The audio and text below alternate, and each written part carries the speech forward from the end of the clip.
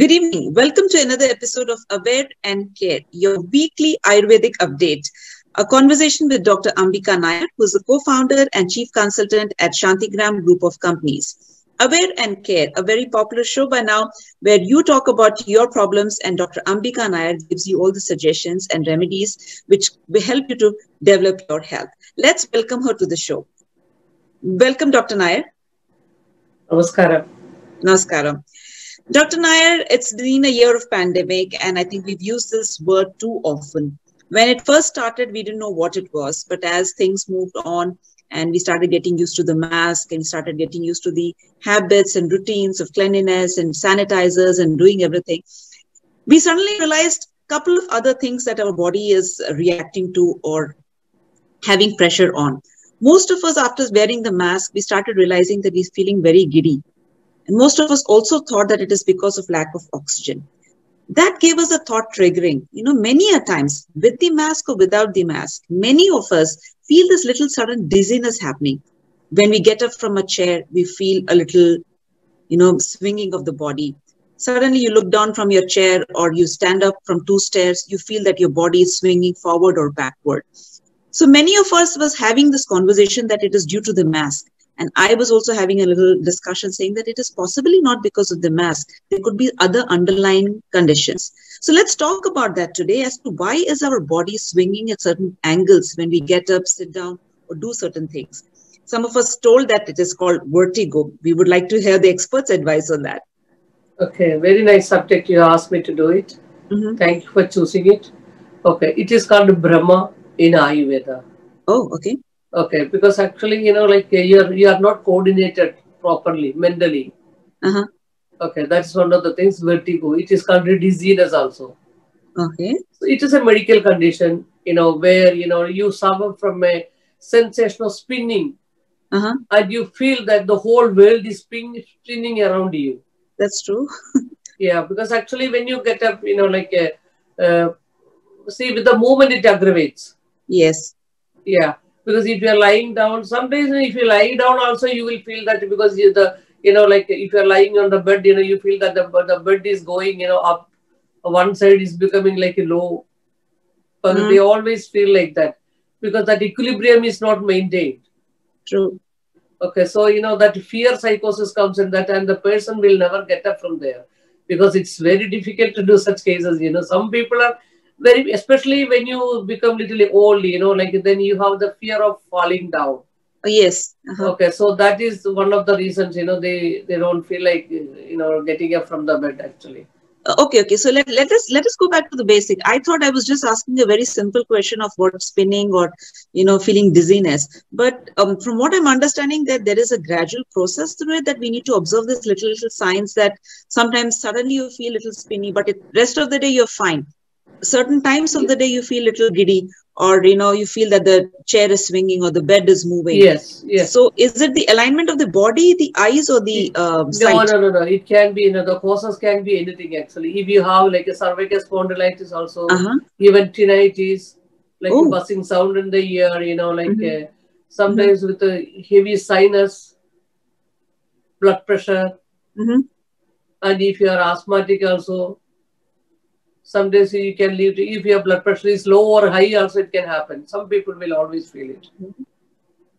So how, how and, dangerous is this condition? Is it chronic or people feel it and frequencies are coming only on certain times of the day? No it will not be continuous. It, it occasionally only it comes like that actually. Okay.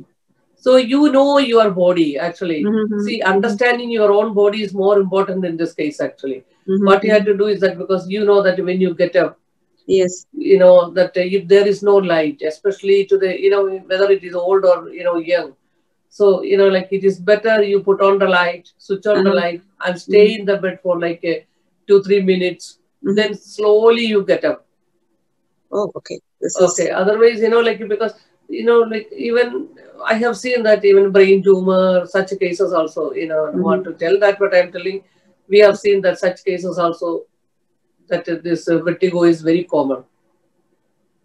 So there is a vast condition of situations where this is possible. A normal, healthy human being also sometimes feels that. Like, you know, women, we see that when during yes. their periods, they feel that they're feeling a little anemic and they feel that oh my head is spinning or somebody no, who's anemia at and the all phone that is entirely different actually if your iron level is low you know you feel fatigue yes with the fatigue also and if you lose a lot of fluid like you know uh, with the diarrhea okay that so also the, the, no, that is very common actually you know like Mhm. you, and if you are having an accident if you are like bleeding a lot Mhm. so naturally with the hemorrhage also it can cause like that okay, Okay. but you know like uh, the, normally it, it is like uh, losing your balance equilibrium you know like you are not having the equilibrium you know like sometimes some people will tell that you know some sound is heard like uh, you know like uh, uh, you know like not tinnitus uh, like swimming like uh, water oh, oh, water okay. gushing in the head, you know, and you know, crawling, crawling in the head.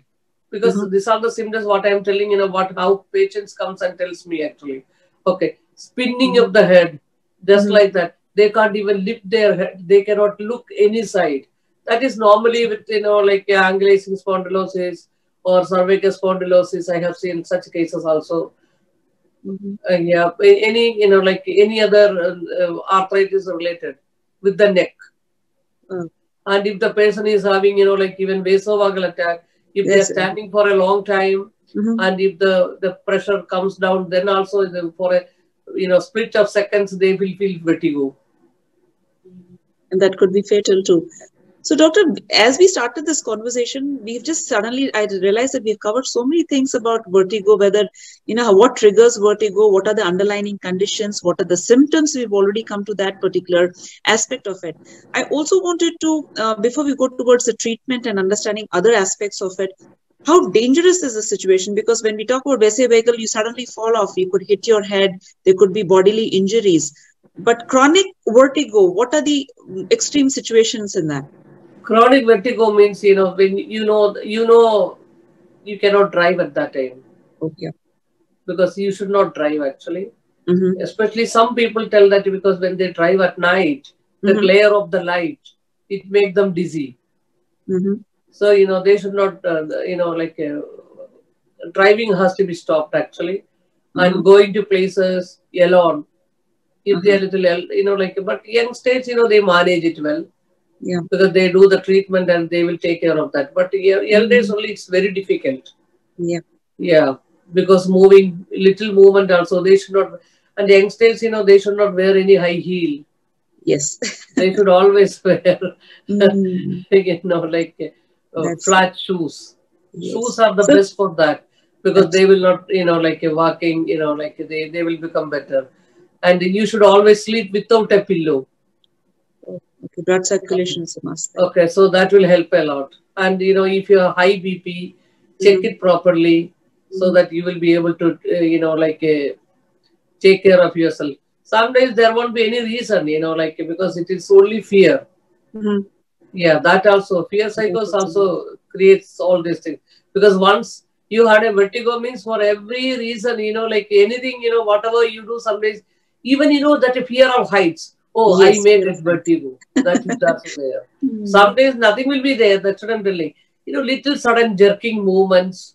That's what you know height. If you go in the uh, rounds and all you know like uh, then you can see Merry-go-rounds or the roller coasters. yeah But uh, doctor, you just mentioned a very important point because most of us are under the assumption that vertigo is usually fear of heights or it happens only at the heights. But with this conversation, which has just started, we just realized there are so many reasons and underlying conditions because of which vertigo could happen. Now, uh, I also want to touch base on something um, which is very common these days.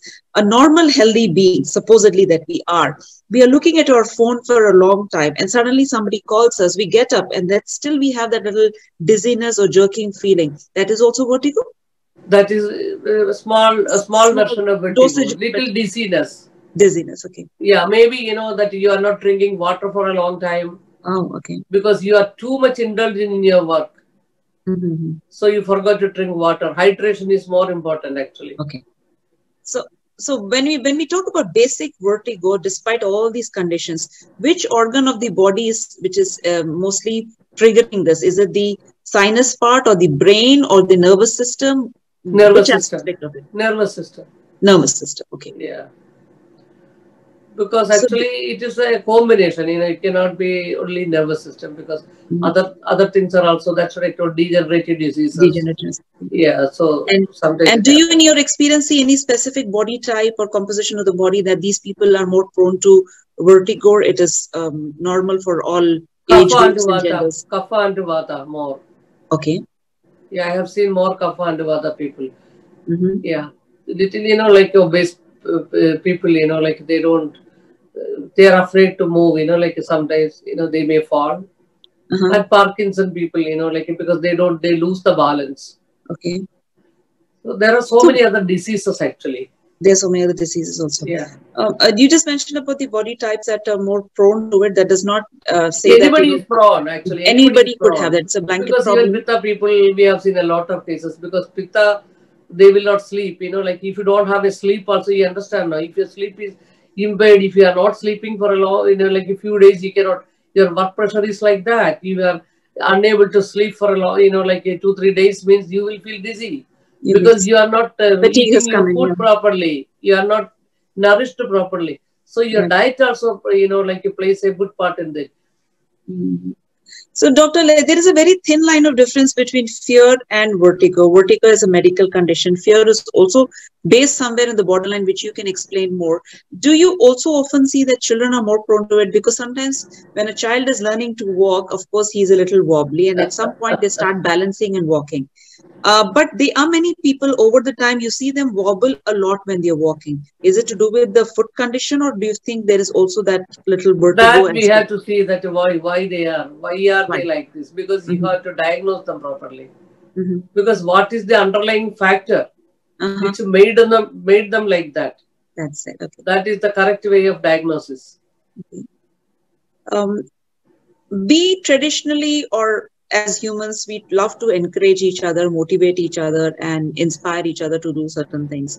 If I'm afraid of certain things, I'm sure you will have certain words to comfort me, make me feel encouraged. Same happens with people with vertigo. When somebody is Yes. living with fear that I, I'm afraid of heights, there are people usually who pokes them. No, try it once, try it once. And we have often seen people vomiting or collapsing or you know having strokes during so much of fear and anxiety because of vertigo. Now let's also talk about first basic thing to do when somebody experiences a symptom. What is the first thing that they should do? They should see that whether you know like because see it should be from the you know like uh, the family people. Okay. Friends you know that there is see ups and downs are there in life. Hmm so you know like you should always come out how to bail out the person that is more important actually hmm Okay, so counseling is more important. So you have to treat the person in the proper way. Because in Mhm. my clinic, in the in the in our uh, Santhigram also, you know, we get a lot of clientele like that. You know Okay. how they will tell they I don't drive. I don't drive in the you know because I I can only go in between. You know, like uh, very small places. I Mhm. don't go. Uh, I cannot drive on the uh, like. Uh, you know, route one Yes, or anything like that, they will be telling that parkway. I am afraid because when I turn, you know, like I get gi- giddiness. I Mhm. tell you know, like this fear is baseless. You know, because nothing will happen because your neck was only causing that. And you know, like after a few days, because they will be asking somebody to drop them off. Then you know, like after a few days, you know, like we counsel them in such a way, and that fear is removed. And not only counseling them and treating them properly, so that they gain the confidence. Doctor, we were just talking about the nervous system part of vertigo, and then we also came to the counseling part. But something comes to my mind immediately. We often seen that you know when people pick up small children, they lift them at the height and they start shaking them and you know drop No, them that is suddenly. a very wrong practice. Yeah. So those kind of practices also maybe um, subconsciously instill the fear of heights and you know a vertigo, which comes No, which we that- never realize it happens. That actually that should not be a big issue okay. because actually you know in in our culture in South Asian culture we Mhm. always toss the child. Toss that. Okay. yeah. Mhm. So that is okay, but you know like I don't uh, you know some days you know, don't recommend that. And of course, friends, as when you're listening to the program, please also visit and consult the doctor before you try any of these remedies which doctor would be sharing. And these are basically habits which have come through generations and with time and information and programs like this, we've realized what is the right way and what is the um, consequences of certain behaviors that we have followed traditionally or over the time. So, Dr. Nair, let's also move ahead and also talk about um, does vertigo go away by itself or a treatment is always required? No, some cases, you know, if it is related with the blood pressure, you understand, no? Uh-huh. Okay. You know, some people will come and tell, you know, I was pushing a cart Mm-hmm. with so much of groceries. Hmm. So suddenly I felt giddy, giddy you know, like a big giddiness, dizziness. So, you know, I was sitting over there for a long time. So, you know, like because when, you know, like maybe at that time you were dehydrated. Yeah. Okay. So that also reasons are there. Or some whistling sound in the ear, Mhm. which made you like very, very, very dizzy. Mhm. So these things should be avoided because you understand the body means how it happens. Sometimes, you know, like a train, you know, in the train station, see Mhm. the high sound, you know, the, the when the, train is going in a high speed. Mhm. Some people will come and tell me, oh, I cannot stand over there because, you know, that uh, I feel that with the with that that sound, you know, like Sound, yeah, that- the body is also. huh. yeah, the, you know, that I vibrate and I get the vertigo. So avoid such things. That's what I'm telling. Okay, at least move little far and take care of yourself. Uh, what are the basic medical tests that are done to confirm this diagnosis or to understand somebody has a uh, vertigo? Oh, There- Is there a They blood will do MRI, MRI to rule out Mhm. whether any other uh, brain problems are there, Mhm. whether any epileptic they are, because epilepsy people also will tell like that only. Mhm. Okay, so this, you know, they medical things they will rule out. And also, in your in your experience, have you seen any injury related uh, vertigo? So many, so many cases. Because to the nerves, you know, because it comes like that. But you know, some cases it takes a lot of time, some cases goes very fast. Because it all depends upon the condition of the person. So, how the is the diagnosis possible, doctor? Because your your book of um, um, explanation right now has so many aspects of vertigo. Uh, when we started this conversation, I thought it was just basic dizziness or fear of heights or vomiting or little that you know feeling in the stomach. That's what vertigo is. But there are so many underlying conditions which could lead to this. So, how does the diagnosis actually start at Santhigram? If a patient comes in and says he's constantly feeling dizzy or you know he's feeling very, So very they will be telling because these things, you know, because we will see that aggravated vata it is. You understand? Okay. no? So the Mhm. pulse reading we will be doing. Nowadays, you know, like most of the cases that we are seeing in person, they come with the COVID report actually. If it Right. is negative, we are seeing a lot of patients. Mhm, mhm. and even the therapies are going on. Then we will understand, we will take the history of the patient Mhm. and we will ask certain questions so that, you know, like uh, not only the pulse reading, also we will understand that whether how they feel it. Okay, then we will do, we'll start the therapies actually. Karnapuranam is done for these patients, Nasyam is done. Some cases, you know, Karnapuram Dhara is something to do given. with the year? Yeah, with the year. So the balancing will be taken care actually. Okay. Mhm. Yeah, so that will be taken care. I'm learning This is little words. effect. Has got to do with the nose. Nasyam, you understood my everything. Yeah, Nasyam is with the nose. please actually. continue. Yeah. Yeah. So this is like a vestibular effect, you know. So the when we do the Karnapuranam, like even sometimes, you know, like with the third day, they will tell that, oh, I feel much better. Wow. Okay. Yeah. So, you know, like very nice actually. So, uh, what is the process and the timeline of the treatment apart from uh, the basic understanding of somebody's body type and the conditions? Like it is, it is, it all depends upon the case. Like sometimes two weeks, sometimes one week, sometimes five days. Mhm. Sometimes it will go like three weeks because if they have any other issues like that. Mhm. The related issues, underlying issues, how much it is there, accordingly we go with that actually. Yeah. And um, in these kind of treatments, panchakarma is also recommended, or it is only Panchakarma only I'm talking about. Panchakarma only we will do that. specific? Talam will be given on the Brahma because it's an aggravation, it's a Vata dosha. So that will take care, okay. And you know, diet also we'll be telling them to drink a lot of fruit juices, Uh-huh. okay. Then you know, like they can always, you know, like celery water, celery boiled water they can use.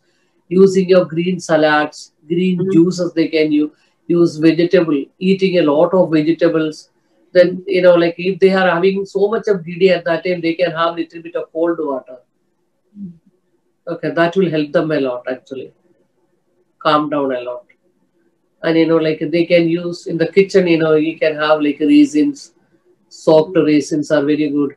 Poppy seeds you can add in your diet like that. Okay, dates are very good so that your hemoglobin will be good. Pomegranate. So you know, like and there are so many you know like a cucumber. All those things you can use a lot. Doctor, when you just mentioned these um, home remedies or foods that we should inculcate, Yeah. um, I, a thought came to my mind. Why is it that when somebody is very stressed, they feel giddy? What happens to the body at that time? The stress That is the with the anxi- anxiety. That is with the anxiety. Some people will have this fear of death when the vertigo comes. You understand? They are see they feel that because actually they feel that they are going down, down, down, Yeah. down, down like Mhm. that. Okay? Mhm. So you know that is a fear of death actually because nothing is happening, but uh, the they will be feeling it. The other person will not understand that actually. So at that time we can give them you know like uh, cold water. Mhm. Okay, that is very good. Fresh juice is very good at that time. Instead of going for fresh juice and all, you can directly give water and sprinkle water on their face. Now that comes to a very important question, which I thought I should definitely ask you. yeah. Uh, right, wrong, I'm not sure because you are here to help us. Many people suggest that when your head is spinning, go and take a nice shower. Cold water, hot water, is it recommended? cold water. recommended? Cold water. Cold water. Cold water. So a Not shower very cold because I cannot say in this country you go and take uh, uh, very cold Yes. water means you know you will freeze. Mhm. So you know lukewarm water. Lukewarm. Okay, at least you know. But you can sprinkle cold water on your face, which will you know it is a good stimulus actually. Okay, stimulating. Okay, okay. So that will help you a lot. Mhm. And check your blood pressure. Sometimes your blood pressure may be very low, Mhm. and it is seen with the hypothyroid patients also. Okay, their BP will go very low, Mhm. like 60 40 and all. Then you know they feel little dizzy. So every vertigo is not a vertigo. Okay. Okay, you have to you have to see that why the vertigo happened, and you have to treat for the root cause actually. Interesting, very interesting. Uh, there's so much more to I could dwell on that, but now we're talking about you know treatments for uh, vertigo, friends. And in this episode, we're talking about vertigo. We discovered about um, various aspects as to why vertigo happens, what are the symptoms, and what are the foods that you should inculcate um, to you know uh, get over this condition. What about the exercises and any kind of people who have the fear of even public spaces? They feel my head is spinning if I go to a crowded place. Um, apart from claustrophobia, also people have this Yeah. feeling that I start feeling Yeah. uh, uh, nauseated and everything. So, what do you recommend to those people? What kind Yeah, of some people actually they will want they tell that you know like symptoms are nauseating, sweating, vomiting will be there, Uh-huh. difficulty in walking. These all other symptoms you know which are related with that. Mhm. Okay, so this is all because little bit of vertigo is there. Otherwise, you know they are okay. And you know like uh, because that should avoid such circumstances actually. Circumstances, Mostly, I tell that you know, and you know like. Lime juice is very good but if you are outside you won't be able to get a lime juice right so you can put little salt in that and you know like if your blood pressure is high reduce your salt intake okay ginger and you know like uh, ginger water is very good for you that is very nice ginger and garlic you can just uh, uh, boil and take it that is also very nice okay then you know like uh, uh, check your hemoglobin and all Okay. Mhm. check your you know like yourself how how nicely you look whether you are able to you know like you understand your body Madhavi. Absolutely. Yeah. whether you will be going you know like some days some days you don't feel like going out you Mhm. feel i feel little fatigued a little tired Yes. may not be able to uh, you know like do the daily course at that time you know stay at home and take care of yourself because so much of work work has to be done especially in this country Mhm. you know like because uh, help pays are very less Mhm.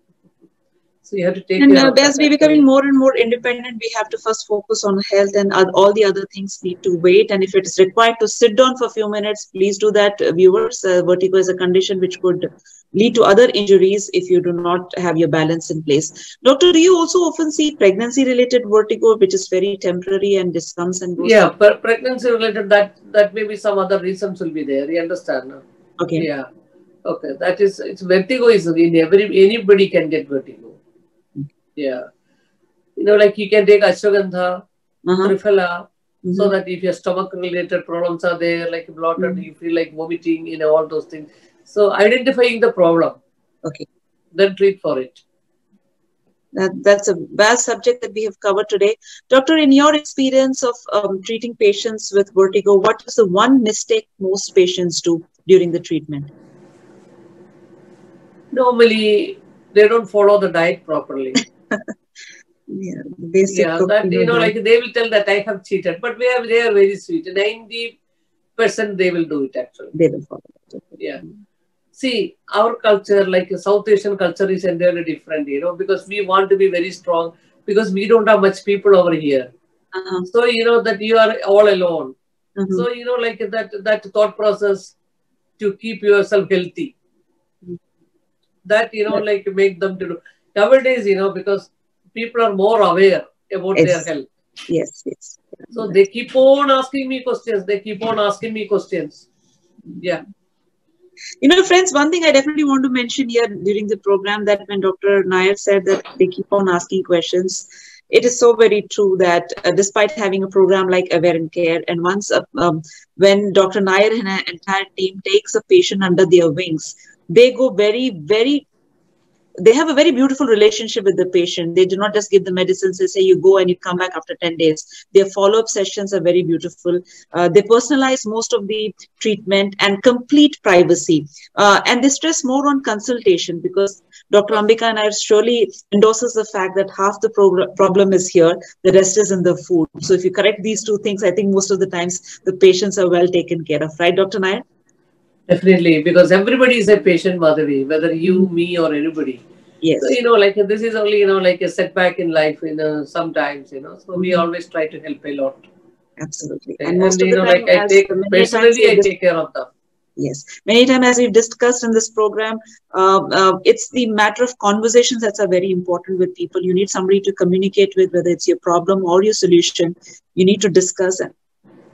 And Dr. Nair and her entire team provide that little package of comfort zone where you know the patient feels comfortable to express their thought. And many a times after the consultation itself, the patient starts feeling very good. Thank you so much, Dr. Nair, on this episode about vertigo. If there's anything that you want to add on, please feel uh, free to add on. No, if you get the vertigo, you know, once it is okay. But if it is continuously coming, you know, please seek the help of a doctor. Absolutely. Okay. And exercises, you know, that you can do yoga and you can do figure of eight, especially by, by you know, like a you have to uh, close your ears. Okay. Okay. Then you can do the figure of eight, you know, but that has to be Oh, shown. okay, okay, okay. So that's a very good exercise. I tell my clients, you know, if you do like that, you can do like a five, six times every day. So that will keep, you know, like that will help them a lot actually. And if you do the deep breathing, if you have a vertigo, go for a deep breathing. Mhm. You know, then you have to come out. Otherwise, you know, you have to take care of that actually. Awesome. Thank you so much, Dr. Nair. Always a delight to be talking to you. And after talking to you, always I run to the kitchen to see that whether I have all these products in the house. But now I think my home itself looks like a, uh pharmacy, not like a pharmacy as in a hospital good, pharmacy, where I get all the fresh vegetables and all the uh, little tips that you give here in the program. Uh, on behalf of all our viewers, we are so thankful to this program, Aware and Care. Thank you so much, Dr. Nair. Thank you for watching my program and promoting. Thanks a lot.